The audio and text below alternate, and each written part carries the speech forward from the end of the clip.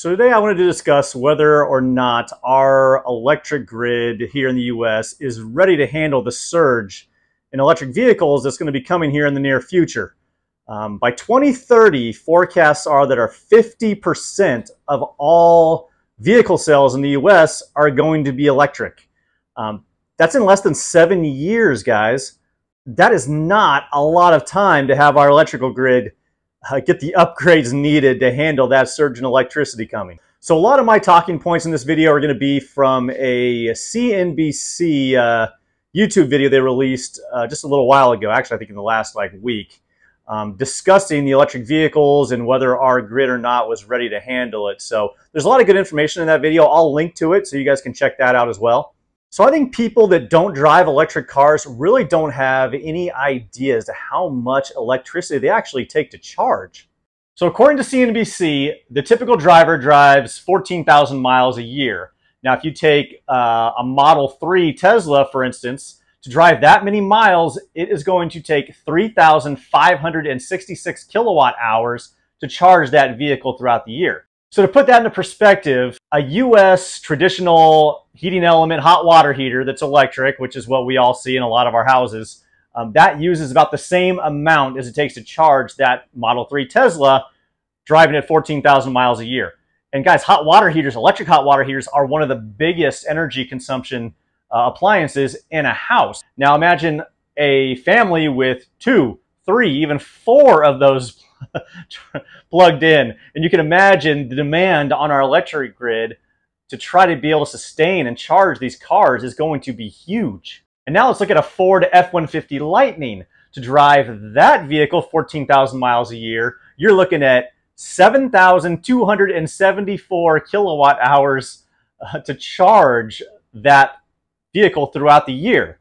Now, to put that into perspective, a traditional standard, traditional big four ton US air conditioner for a home, that uses about 4,950 kilowatt hours a year. So you can see the Ford F-150 is not quite double, but almost double to charge that vehicle in is to run an air conditioner. And we all know how much electricity usage air conditioners take.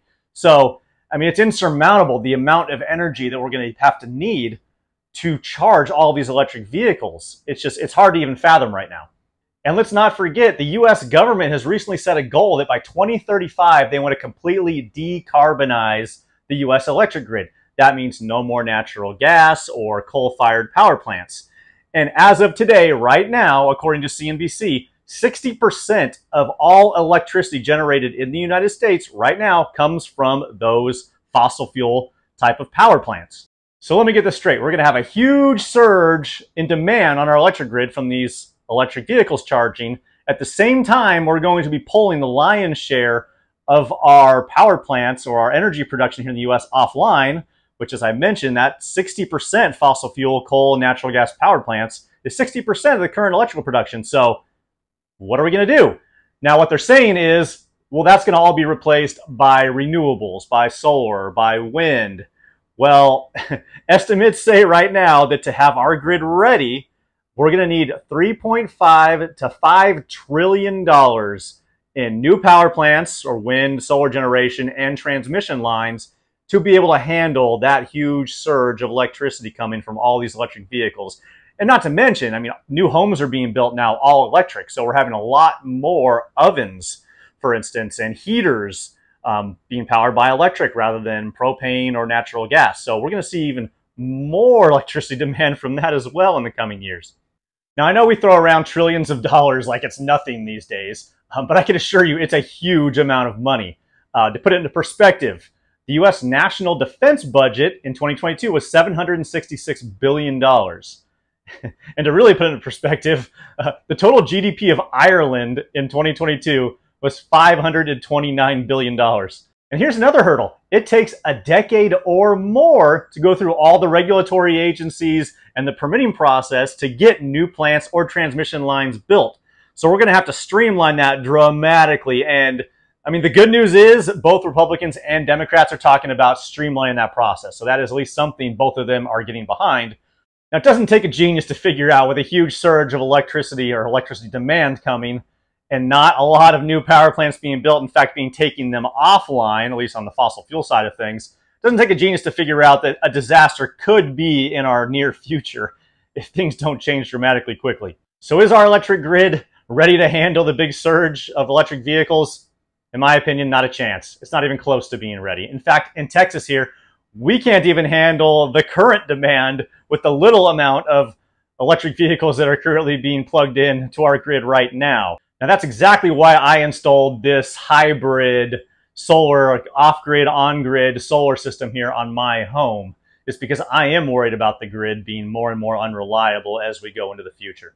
So what does hybrid mean? Hybrid means that it can work both on-grid or off-grid. So I can literally pull the switch right here and disconnect myself from the grid and I'm completely running on my battery bank here. Um, and I've got 30 kilowatt hours of storage. That runs my house at night or during the day if there's not enough sun to power the loads I'm using on my house. So here's just a brief overview of how this system works. Basically, I have solar panels out in my front yard, and all of that power comes into this. It's called a hybrid solar inverter. This is actually the Sol-Ark 15K, which in my opinion is the best inverter out there, and I'll link to that in the description if you're interested on it. But what happens is all that power comes right into here uh, via these conduits down here. And then that power gets distributed first on priority basis to the loads in my house. It feeds my 200, and, uh, 200 amp panel and feeds every appliance in my house. And this thing can run my whole house within limits. It uses, it actually can run for with about 15,000 watts being used at one time, which is enough to run my air conditioner, all my lights, all seven of my refrigerators, cooking on my induction stove top, um, anything I really need. I just can't run like my well pump at the same time as my electric dryer at the same time as all of my refrigerators at the same time as my cooktop. If I use everything at the same time, I can go over that. I've seen it go as high as 16, 17,000 watts. Um, and when I'm in off-grid mode, running on batteries only, I could use up to 12,000 watts at a time. So you do have to manage your loads a little more carefully if you use it in off-grid mode, but this can handle my whole house. If I lost power, I am a happy camper. I can still do everything I want to do. I'm not going to have to change my lifestyle much at all.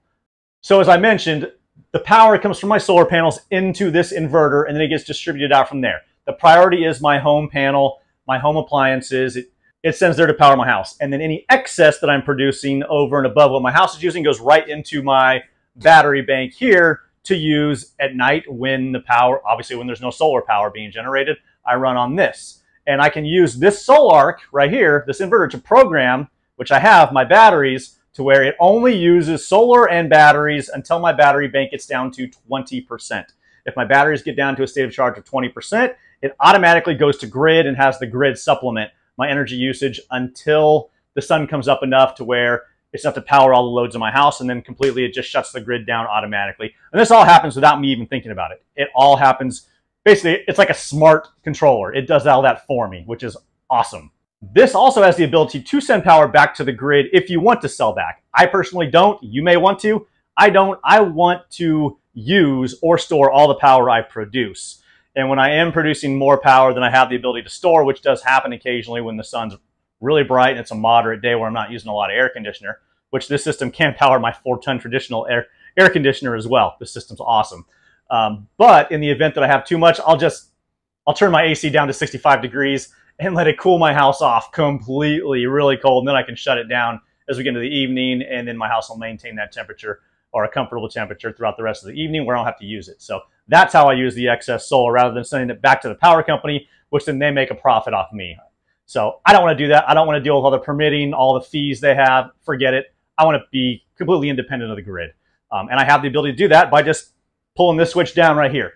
But when you do have an off-grid solar program or project like I do, you do need a backup because there will be times when you can just can't produce enough energy or don't have enough battery bank to run. So you either need a gas generator, propane generator. I personally have a propane generator, but it's cheaper still to get power from the grid as my backup rather than my generator. And I'll keep an eye on that. And if that ever changes, I'll just go right to using my generator only.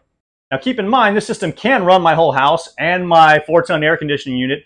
But if I try and run that air conditioning at night, it will drain my battery bank pretty quickly. I mean, I'm talking four or five hours running my AC because air conditioners run at 3,500 watts. And this is roughly 30 kilowatt hours of storage. So do the math on that. That's roughly eight, nine hours that I have to run such a big appliance like that.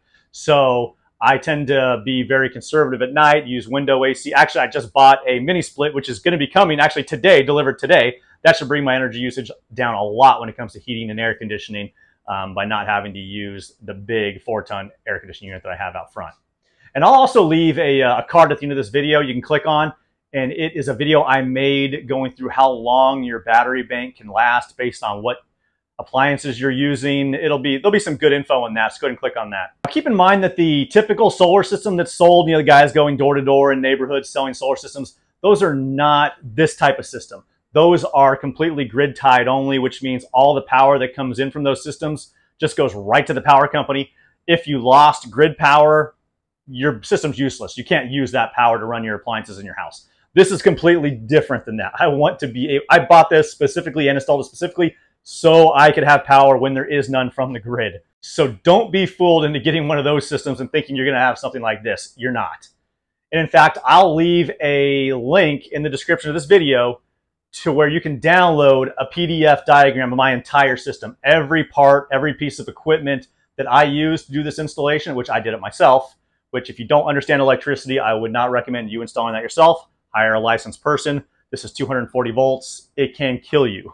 And also in that PDF, uh, I'll have info on the actual solar panel racks that I built out of pressure treated wood, a materials list that you can see how to do that.